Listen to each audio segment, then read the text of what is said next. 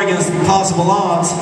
And uh, for the most time, music is just like fucking really boring, entertaining, entertainment. Sorry, Swedish is my first language. I, you don't want to hear that shit.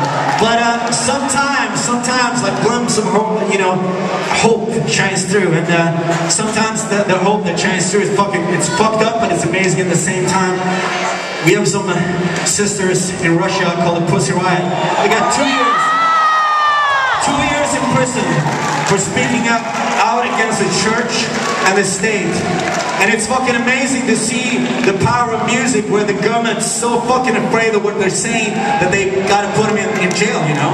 And um, if, if people give me two years in prison every time I spoke out against the church and the state, this tour would not be happening. I mean, like it, 40,000 years in prison. That's what's to happen. So I'm glad that, uh, you know, we get to say this, and I'm glad that shit like that is happening across the world. Here's a song to the Pussy Riot. Free Pussy Riot! Here's a song!